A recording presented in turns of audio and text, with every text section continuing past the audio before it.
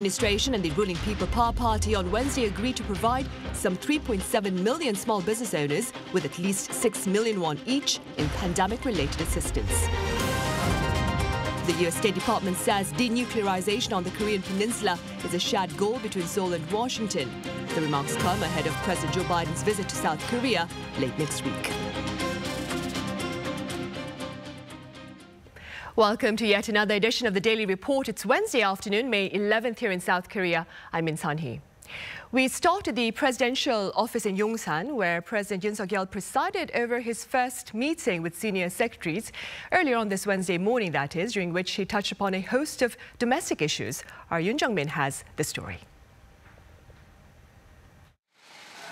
On his second day in office on Wednesday, President Yoon Suk-yeol held his first meeting with his senior secretaries.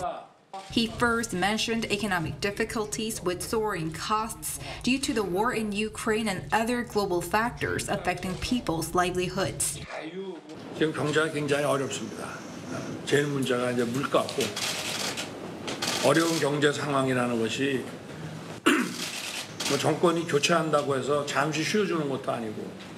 물가 상승의 그 원인과 그 원인에 따른 그 억제 대책을 고민을 계속 해야 될 것 같고요.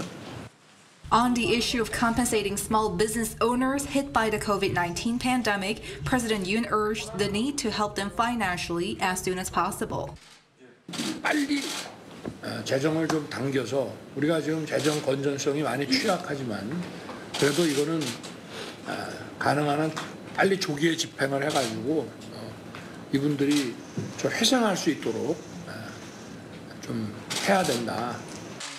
He stressed the need for close work and cooperation among his senior secretaries without boundaries, adding it's the reason why he relocated and rearranged the presidential office. On security, the president urged for close monitoring of North Korea's nuclear situation.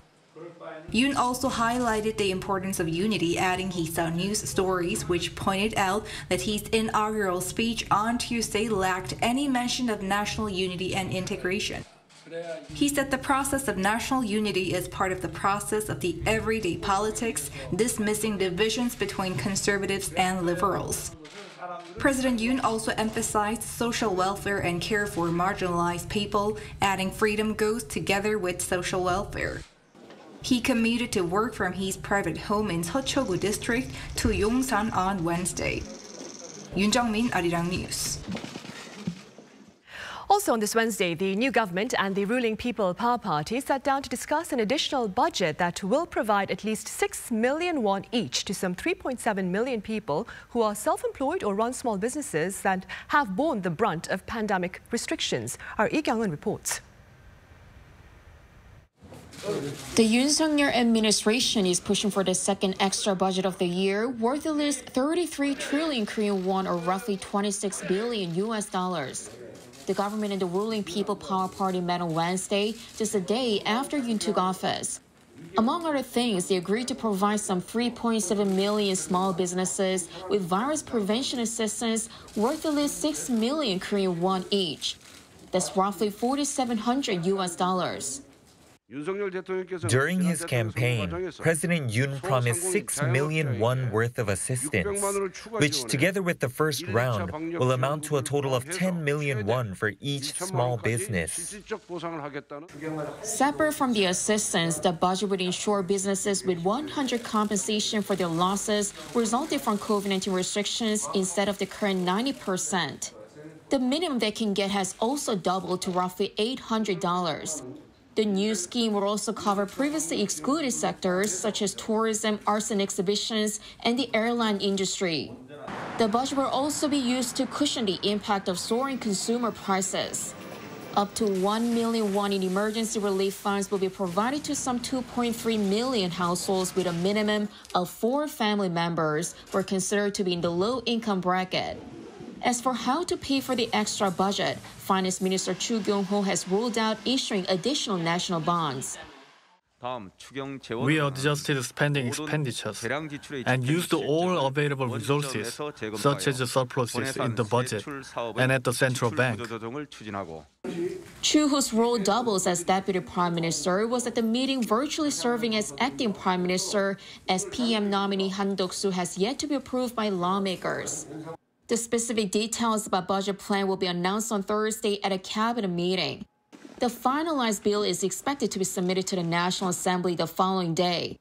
Next Monday, lawmakers are set to convene a plenary session to go over the budget.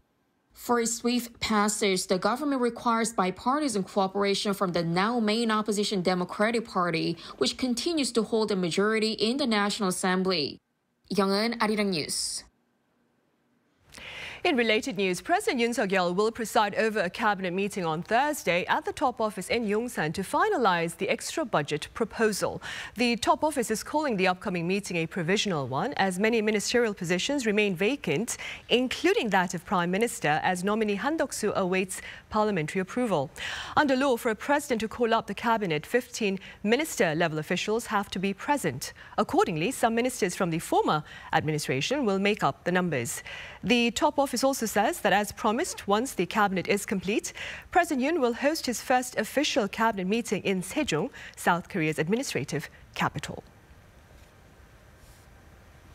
And South Korea's new defense minister held his first meeting with top military commanders and called for, quote, an immediate and stern response to any direct provocation from North Korea. During the virtual meeting on this Wednesday, Lee Jong-sup claimed the situation on the peninsula is very grave amid threats from North Korea, including rampant missile tests as well as possible nuclear tests. He urged for a strong defense posture on land, at sea and in the air. His remarks come amid widespread speculation that North Korea could conduct a nuclear test as early as this month. Washington, meanwhile, has extended its vote of support to the new administration's calls for denuclearization on the Korean peninsula. The remarks come ahead of U.S. President Joe Biden's visit to South Korea late next week. Our Kim Hyo-sun reports. Washington has once again reaffirmed that completely denuclearizing the Korean peninsula is a common goal of South Korea and the U.S. State Department Press Secretary Ned Price, speaking at a press briefing Tuesday, said the two allies will continue to coordinate closely on ways to achieve their common objective. The remarks were made when he was asked about South Korean President Yoon Suk-yeol's inauguration speech, where Yoon said that his government will help revive Pyongyang's economy if the regime gives up its nuclear ambitions. Price further explained that the U.S. looks forward to continuing discussions when President Biden visits Seoul next week for a summit with Yoon.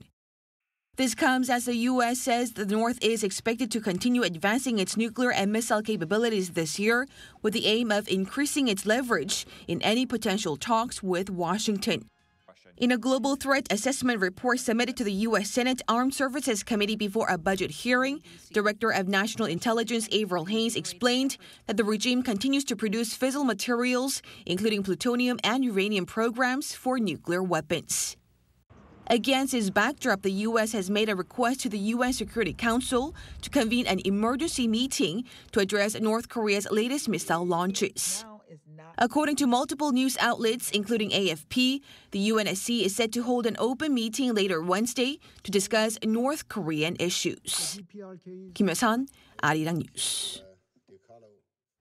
The U.S. is hosting the second global COVID-19 summit this week. In a readout on Tuesday, the White House said it is co-hosting the virtual event with Belize, Germany, Indonesia and Senegal on May 12th.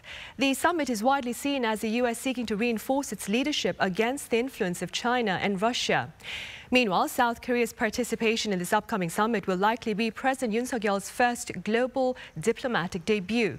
Now, Yoon has been highlighting the need for South Korea to expand its presence within the international arena while stressing the importance of this whole Washington alliance. Direct communication between Presidents Yoon and Biden is unlikely at this particular gathering, but a Yoon-Biden summit is scheduled for next weekend. Meanwhile, on the local pandemic front, the daily tally continues to hover on the 40,000 level, and the new government plans to monitor the situation before announcing the start of a new phase. Our Kim Ji-yeon explains. South Korea reported 43,925 daily new coronavirus cases on Wednesday, the second straight day it stayed above the 40,000 level. Korea Disease Control and Prevention Agency said there were 383 critically ill patients, down 15 from a day earlier. 29 COVID related deaths were recorded, marking a 0.13% fatality rate. South Korea's daily new infections have been on the downward trend since mid March after a peak of over 620,000. So the new Yoon Suk yeol government is trying to push forward toward a return to pre pandemic normalcy. South Korea eased the country's outdoor mask mandate last Monday and downgraded the virus for Class 2 infection from Class 1 on March 25th. The Ministry of Health and Welfare said Wednesday it'll discuss next week whether it'll proceed with the government's plans to officially declare the number of coronavirus cases as having plateaued or is in steady decline on May 23rd, indicating COVID 19 has become endemic in the country. One of the conditions is recording fewer than 100,000 daily infections, which would allow the medical system to readily provide treatment for confirmed patients. During the next 100 days, the ministry will unveil plans to carry out some of the coronavirus response measures released by the President Yoon's Transition Committee last month to prepare for a post pandemic regime. This includes revamping coronavirus response measures based on scientific evidence, establishing sustainable infectious disease response measures, the protection of vulnerable groups of people in the low income bracket, and the procurement of safe vaccines and coronavirus treatments. Kim Jian, Arirang News. And in other news, prospects within the local labour market are looking bright, with the country posting its greatest monthly growth in more than 20 years in April. Our Ji-yoon has more. Things might be looking up on the employment front in South Korea. Some 865,000 people found jobs in April, the largest on-year increase for the month since the year 2000. Thanks to robust exports and more industries shifting to non contact business operations, the number of employed people rose in April while the jobless rate dropped. The jobless rate fell one percentage point on year, the lowest for the month of April since 1999. And by age, those 60 and older found the most new jobs, adding over 400,000 positions on year. However, experts are cautious about predicting more positive figures going forward. Whether this trend will continue next month, we'll have to wait and see. We have to take into account the lingering uncertainties in the global economy, the war between Russia and Ukraine, as well as the decision in May to do away with social distancing in Korea. Watchers say it's a mixed bag for the domestic economy for the time being. Although it seems to be on a recovery track, it still faces soaring energy prices and global uncertainties. Lee Ji-yoon, Arirang News. Time now for a quick check on the local weather forecast. I have Choi Jian standing by. Jian, welcome. Hi, Sunny. We had some slight rain, but things are clearing up. Now the sun is breaking through the clouds. It's still partly cloudy in many regions. And it's been raining on and off on Jeju, 5 to 10 millimeters, and slight drizzle on the south coast. Thankfully, fine dust is not bothering us today, but always factor in wide gaps in readings, which is a current trend for inland regions. It was chilly in the morning with early summer-like heat in the afternoon, and then things are much cooler again in the evening. So I hope you grabbed your jacket for later today. As a warm and moist wind is blowing into the country, high temperatures in southern areas will spike to 27 degrees, while that is much higher than the average. On the contrary, east coast regions will stay relatively cooler. That's the weather forecast for today. I'm Choi Jian, and back to you, Sunny. Right, and that ends part one of the daily report. We'll be back with part two, during which we'll discuss the pandemic and more.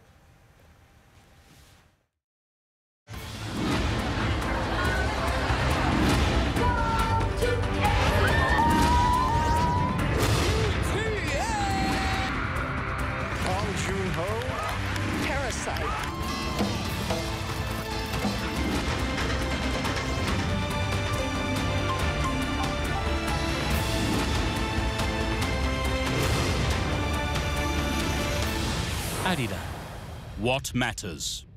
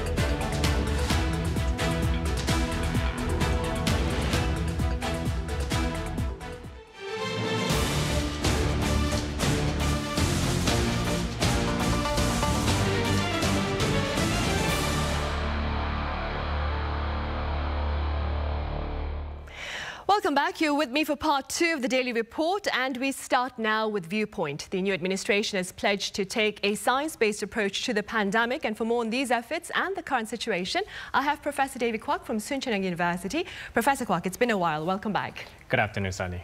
I also have Dr. Kim Seung-taek from Institut Pasteur Korea. Dr. Kim, it's good to have you here again. Good afternoon. Now, Professor Kwok, before we touch upon Korea's COVID-19 situation, perhaps we could start with a few words about the unexplained pediatric uh, hepatitis cases that have been detected across the world, including here in South Korea. One case was reported last week. Let's start with that. Right. So I don't want to scare uh, too many people by overly exaggerating what's happening. Uh, currently, they have found to be about 800 cases or so of uh, young children who are having rather severe cases of hepatitis of unknown etiology. They call it because some of them were found to contain, let's say, adenovirus, or some have had, uh, some of them actually had some other infectious sources along with their symptoms, but the causal relationship from their infected sources to their symptoms were not found yet. And uh, sadly, eight people have died so far. And as you mentioned, uh, Korea has found one uh, case of um, severe hepatitis with unknown etiology. Um, they're currently researching why this is happening, but some speculations have been made, such as to the adenovirus that can cause hepatitis, that can also cause uh, a lot of the symptoms that all these children had. But other people are also saying it could have also happened due to lack of exposure to uh, viral sources going through the two years of pandemic for these young children. Uh, in normal cases, in reg uh, regular cases, they would have been exposed to many different uh, sources and sort of build immune uh, immunity against them. But for the past two years or so, these young children were not able to do so. So many currently many different factors and many speculations are being made. And uh, I guess I should be a little more glad that there have been very limited uh, numbers of cases found so far.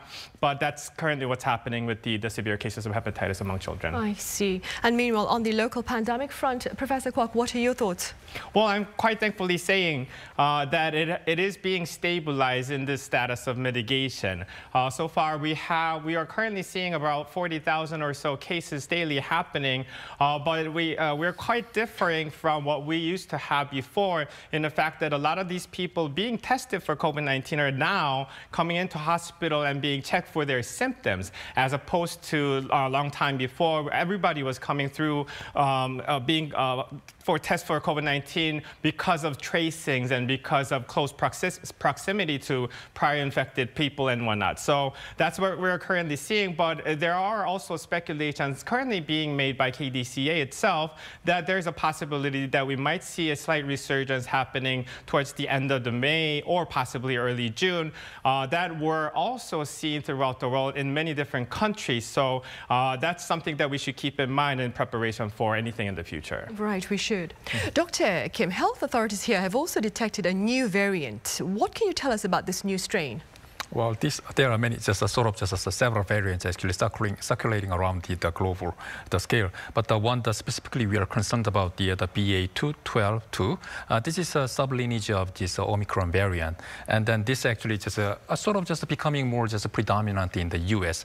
As of now, it now just accounts for about just 40% of all just new COVID-19 infections in just the US. And then in terms of when, whenever just a new variant just comes, just coming out, then, then we are concerned about about how the transmissible or how severe disease it actually causes.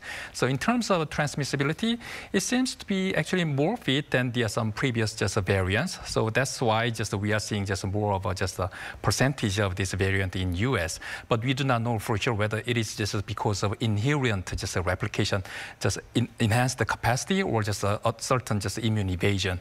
And also some severity, uh, we do not know for sure. And uh, also in terms of severity, now it is very difficult to the judge about the, the severity because uh, now many people are somehow immune, not just uh, naive anymore. Some of just many people are just immune by the uh, vaccination or like some natural infection. So the it is really difficult to, to, to judge the severity. But I think uh, many people agree that the, uh, the, this new variant would not just pose any other, other additional just uh, the severity upon the uh, some uh, currently just circulating just the variants. And for the vaccine and then some drugs for the vaccine, I think many people just agree that the vaccine would still just work. But I'm not quite too sure about the some neutralizing just capacity of the antibody that induced by natural immunity, natural infection, or just the vaccine, the vaccination. That will be actually decided by the scientists and the clinicians in the near future. And for drugs, well, maybe some most of the chemical drugs, which include some Paxlovid and then molnupiravir, remdesivir, I think it should still just uh, work against this new variant. However, I'm not quite sure about just a monoclonal antibody. Basically, just a monoclonal antibody is very vulnerable to the any just mutation, especially on the, the mutation occurring on the, uh, the spike gene. So we do not know for sure, but this will also be examined in the near future by the scientists. Right. Professor Kwok, Given this recent detection then of um, a new variant and so forth, what are your thoughts on the wisdom of lifting quarantine for COVID-19 patients, which may happen in May, on May 23rd, as COVID-19 has now been designated, or downgraded that is, to a class 2 infectious disease? Well, let me begin by iterating the fact that I'm a clinical physician. So I'm probably in the most conservative um, state and in, the view of possibly lifting the mandate for masks. Uh, the thing is, I think it's too premature because currently, all globally, uh, we're observing many other countries going through the second resurgence after the huge pandemic or the wave of the Omicron wave. And we are quite likely to go through that as well. But if it happens to coincide with the lifting of the mandates for the mask, um, uh, it, it can actually create a larger number than expected or larger number than what we can handle uh, to even the milder cases. Even if um, the future variants or the future resurgence could happen from something milder in its severity, if it happens with great numbers, uh, it's going to be uh, very burdensome on the medical sector, obviously. So um, the discussion of lifting the mandates for masks, uh, we're already having no mask mandates anyways on the outside. Um, so I don't think we can really prematurely uh, talk about lifting further already lightened um, uh, social distancing guidelines because it's pretty much the bare minimum we're currently keeping. Right. And uh, Dr. Kim, authorities have said that a decision on the lifting of mandatory quarantine for COVID-19 uh, patients will depend on our tallies. What are your thoughts on this stance? Is it practical? Well, in the end, uh, I think uh, this uh, COVID-19 pandemic will just uh, becoming more more of some just uh, goes to the uh, some actually endemic phase. endemic phase means that all the the stats are very stable, just static, neither rising or nor falling. So in in this case, I think we need in the end we need to just think about the such kind of just lifting just lifting all the mandate. Well, when you think about just the flu, the, we do not actually quarantine just the people after they just got just the flu. And so for this COVID-19, in the end, we will not actually, we would not just require any just a mandate that quarantine for the all COVID-19 patients. But uh, I think uh, in the end, uh, this, uh, we actually the, in the era of just shifting the responsibility from the responsibility from the government, now from the, the uh, responsibility of, of the uh, each individual. So now all the resources are pretty much available, especially in Korea. Now the vaccines, we are now just even just having more surplus of the vaccine. And then as long as we secure just uh, uh, secure just uh, uh oral bio, orally just uh, antiviral drugs, then uh, there is a, we have all the measures we can actually prevent and then the control the COVID-19. Then we can maybe just go for the some especially just a normal life without well, especially well in this case just living with COVID-19. Right, a new normal. New normal, exactly. Professor Kwok, second booster doses are also being recommended here for those in their 60s and above. what are your thoughts on this campaign? I've requested that my parents were injected with the first shot, and they did. They actually received uh, uh, vaccines made by Novavax, and they did not go through any side effects at all. Uh, the reason I specifically asked my parents to receive their second booster shot is primarily because I wanted to sort of keep the immunity, at least in the antibody levels against COVID-19, knowing that they haven't been exposed to COVID-19 yet my other family members, my family, my, my personal family members all have gone through COVID-19. I know for sure that we have, we must have built up sort of uh, some sort of immunity against COVID-19, whether that be through uh, vaccination or uh, through natural immunization or, or natural um, uh, immunization, sorry. But uh, knowing my parents haven't gone through any infections priorly, uh, I wanted to make sure that they're in the safe place by still yet again boosting the immunity by vaccinating them. Uh, and thankfully, they didn't go through any, even the mildest bit of the side effects afterwards. So I'm thankful that I did. But also for any people who could be exposed to the virus yet not having gone through the infection, also those who are uh, more likely to be prone to severe types of COVID-19, such as those immunocompromised or people having severe cases of uh, underlying diseases, I strongly recommend that they should receive their second boosters as well. Right.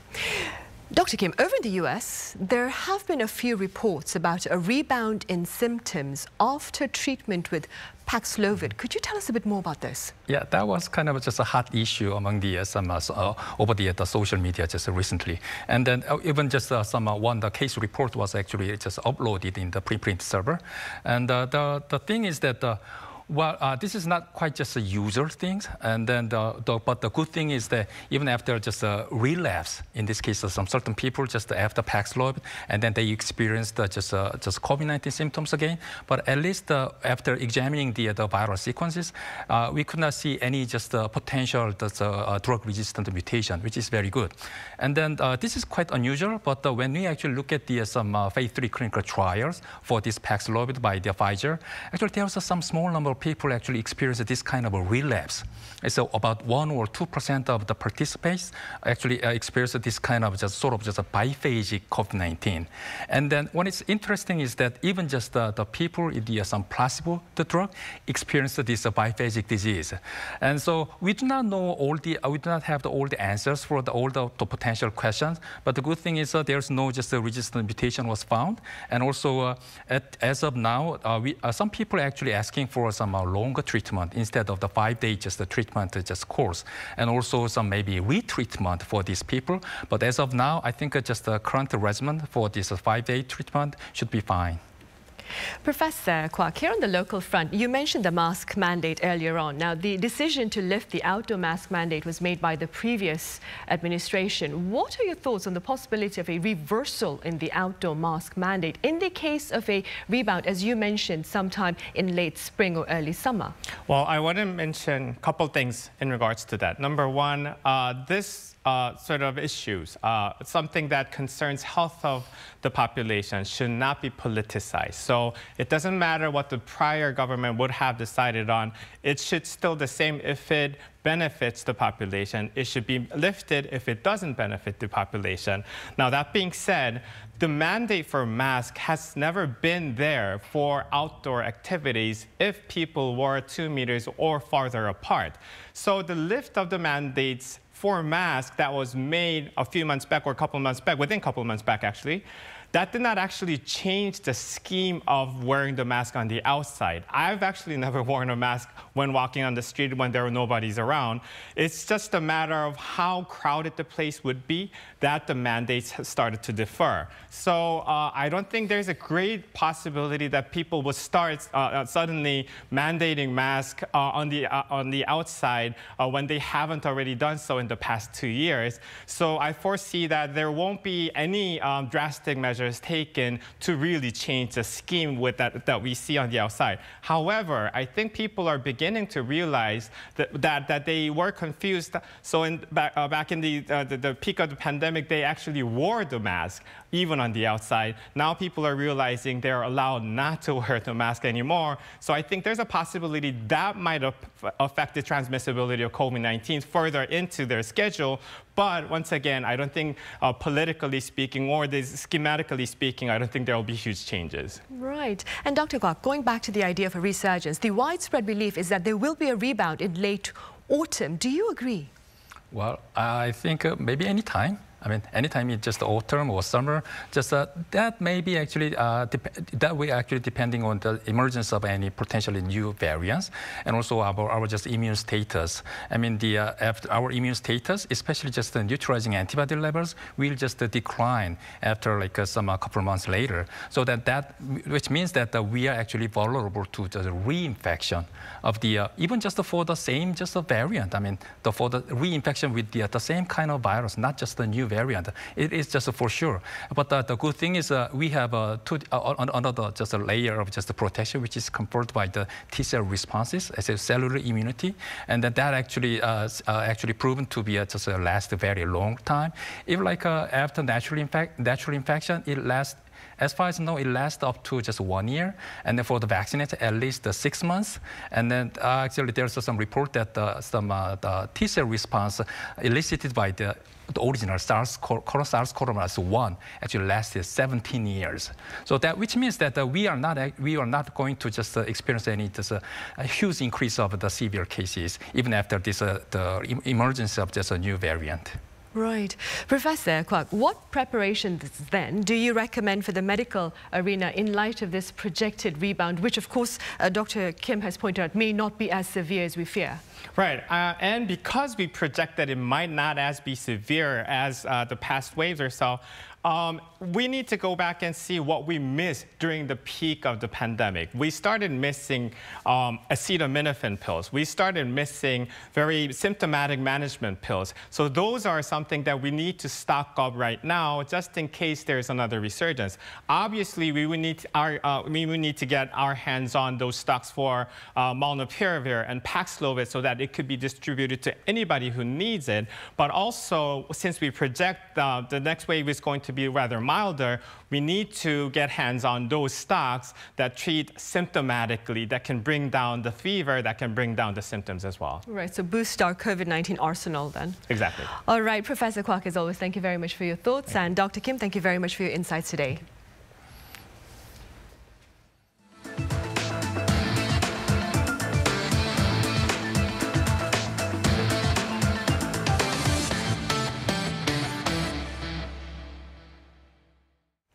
The 20th South Korean presidential inauguration took place earlier on Tuesday, and amid the frantic press coverage of the event by most media members, my colleague Shin Yeun had the rare chance to cover the event from the perspective of an ordinary citizen invited to the ceremony. To take a look.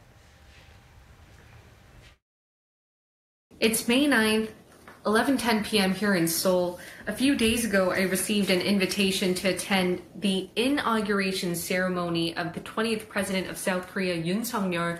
I can't believe I've been selected because the committee only invited 20,000 Korean civilians. Any South Korean citizen who wanted to attend could apply online from April 8th to the 14th.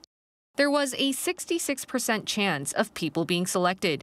The envelope I received in the mail included a letter with some things I need to be aware of, as well as a map explaining how to get to the National Assembly. It also included which gate to enter by. I arrived here a bit early, but I don't think I'm the only one who's decided to use public transport to get here. There's already a lot of people who seem to be going to the inauguration ceremony with me.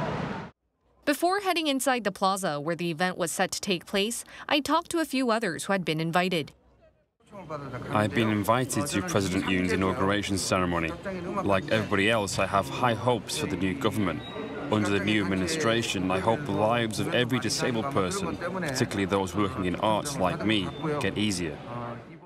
그 어디서 오셨을까요? 아, 저 울산에서 왔습니다. 울산에서 오늘 요거 여기까지 오신 거예요? 네. 새벽, 새벽에 기차 타고 6시 40분 기차 타고 여기 왔습니다. 새로운 대통령이 새로운 나라를 새롭게 변화시켜 줄 수 있을 거라고 기대하면서 왔습니다. Unfortunately, I missed the opening ceremony because the security guards had closed the gates right before and after President Yoon arrived. We've all been waiting for over an hour and 30 minutes to get inside the National Assembly. The line is finally moving along as the ceremony has started at 11 a.m. sharp. As you can see, there's a lot of people going in. There's still a long line behind me. And we're walking to the sound of the national anthem in the background. I finally made it. I'm going in to see the 20th president of South Korea. As soon as I got in, the security guards checked for my ticket and my belongings. I had made it just in time to hear the president give his first speech.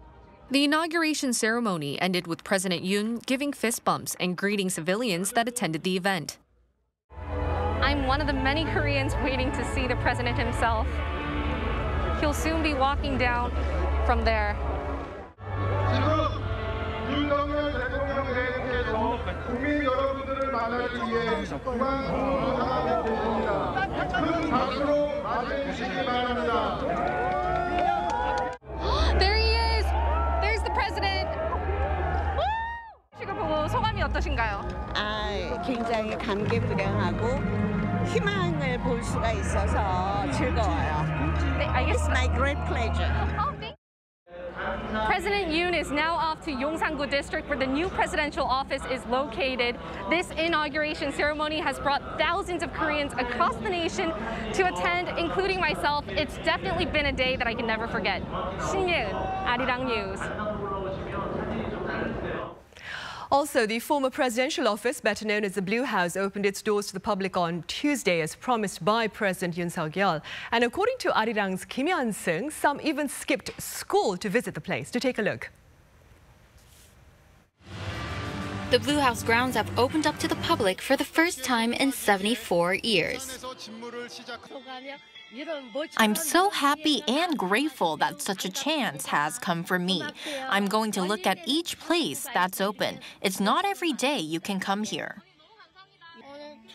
Mom said we should come here since it's opening day.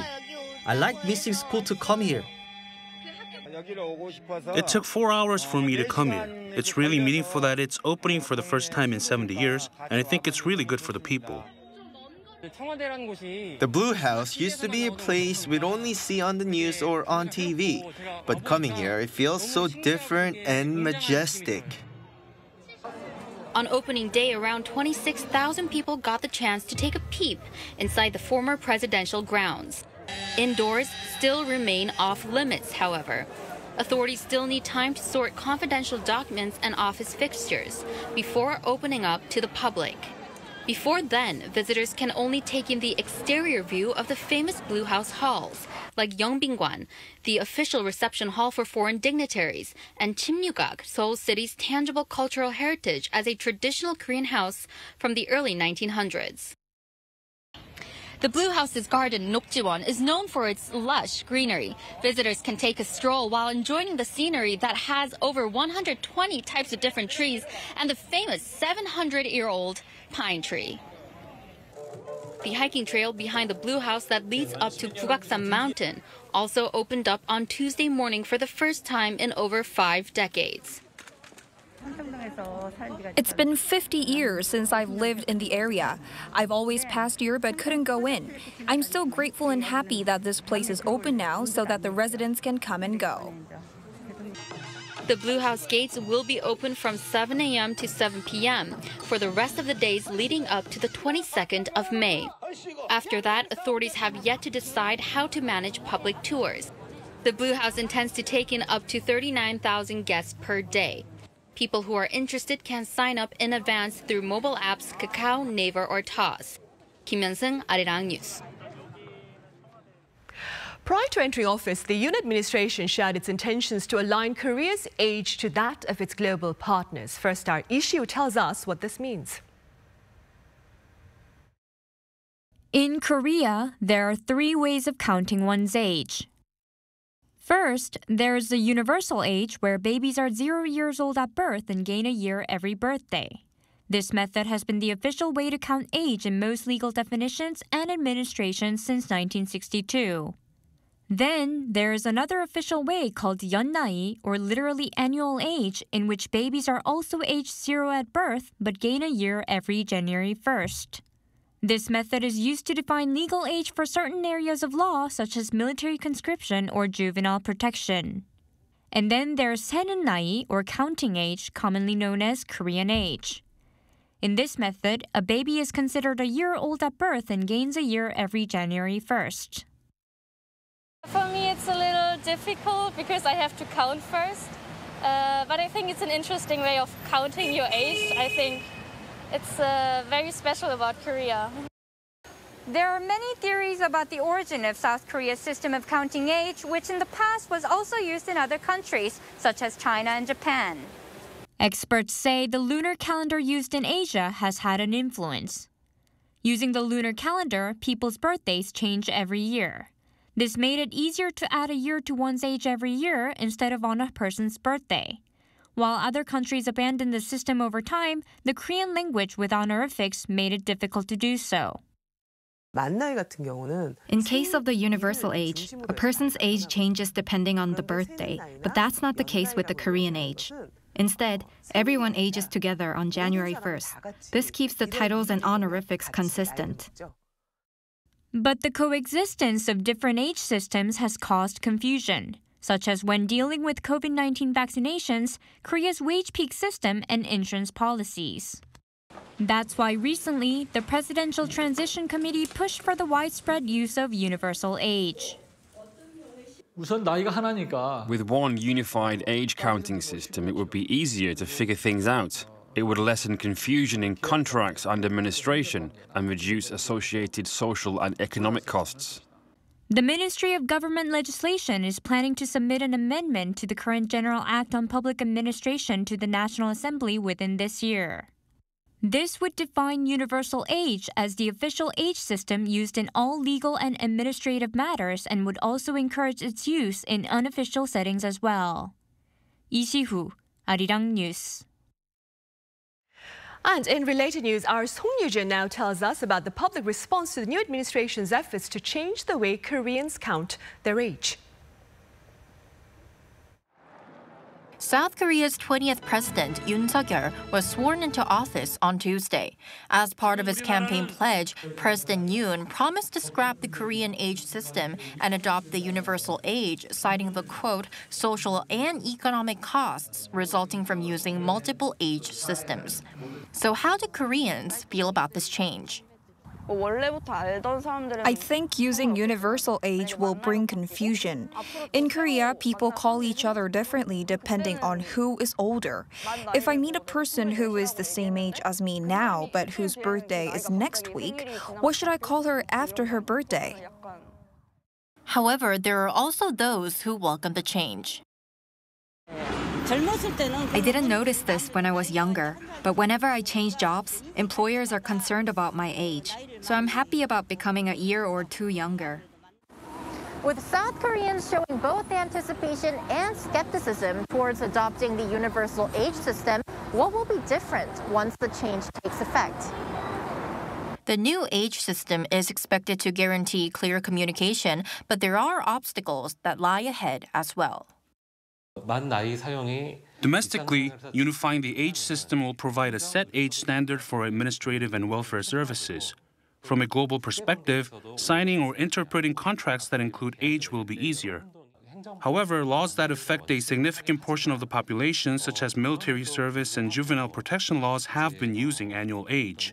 To minimize administrative inefficiency, both expert and public opinion will need to be heard before a decision is made.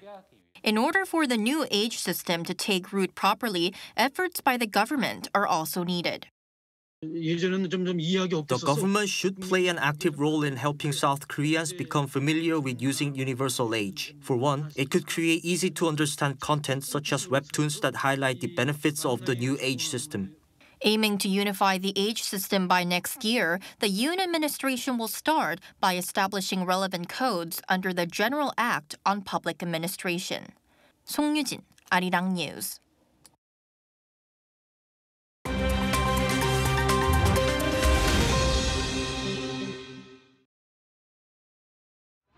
Let's take a look at what's going on in the world now. In Afghanistan, a new rule announced by the Taliban has led to protests. Taking to the streets on Tuesday, women in the country protested recent restrictions imposed by the administration. This follows a ruling made by the Taliban supreme leader on Saturday, decreeing that Afghan women must cover their faces. The move signals an escalation in restrictions on women in public and comes amid growing backlash from many Afghans and the international community. While most women in the country wear a headscarf for religious reasons, many in urban areas don't cover their faces. In recent months, the Taliban also introduced rules on women traveling without a male chaperone, alongside a ban on men and women visiting parks at the same time. This despite assurances from the group that they have changed since their previous repressive period in power. Authorities in Armenia have detained 61 anti-government protesters. The arrests were made on Tuesday in the capital Yerevan at a march that saw hundreds of people demand the resignation of Prime Minister Nikol Pashinyan. While initial footage showed a peaceful demonstration, video taken later revealed police making forceful arrests. There have been a string of protests in recent weeks as pressure mounts on the PM, with at least 92 protesters detained late last week. Pashinyan is under fire for agreeing to a ceasefire brokered by Russia in 2020 when Armenia was defeated by Azerbaijan, losing territory around a disputed region. The United Nations General Assembly on Tuesday elected the Czech Republic to its Human Rights Council, replacing Russia. Russia was suspended from the council last month, two years into a three-year term, over its invasion of Ukraine and allegations of horrific human rights violations.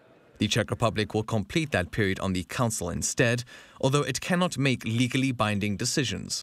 Receiving 157 votes in favor while 23 countries abstained, the Czech Republic will start its term immediately. The Human Rights Council is slated to hold a session on Ukraine on Thursday, following a request by Kyiv for a review of the situation there.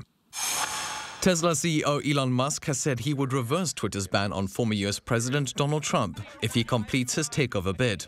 Speaking virtually Tuesday at a car conference organized by the Financial Times, Musk called the ban a mistake that, quote, alienated the country. Twitter permanently banned Trump in January 2021 over repeated rule violations. The platform also cited the risk of inciting further violence following riots at the US Capitol on 6 January 2021 as part of its decision. Trump has previously said he would not return to Twitter and will instead use his own Truth Social platform. Andy Warhol's 1964 portrait of Marilyn Monroe has sold for 195 million US dollars at an auction in New York City. Monday's sale is a record for a piece by an American artist, breaking the previous record set in 2017, when a painting by Jean-Michel Basquiat sold for $110.5 million. Shot Sage Blue Marilyn is one of a series of portraits Warhol made of the actress following her death in 1962, and is one of pop art's best-known pieces. Under hammer price, the portrait sold for $170 million, with fees adding on an extra 25 million. Matthew Ashley, Arirang News.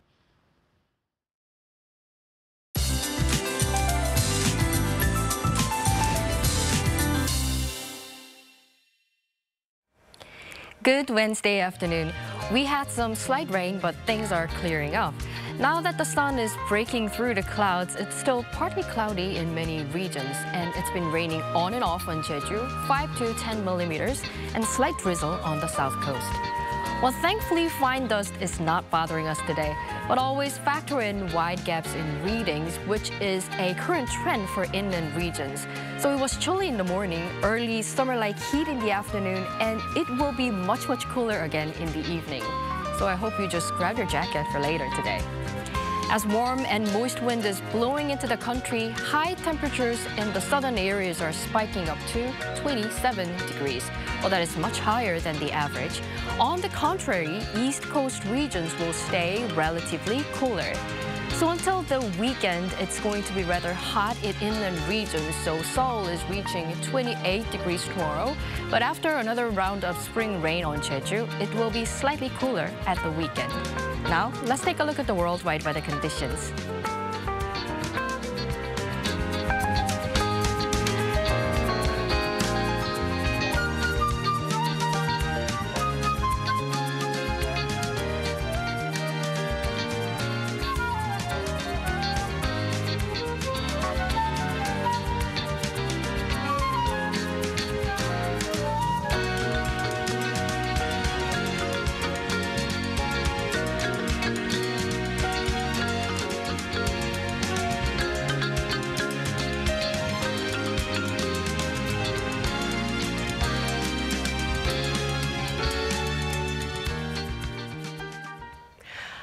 On that note, we say goodbye. Do join us again tomorrow, same time. That is Thursday for more coverage. Thank you for now.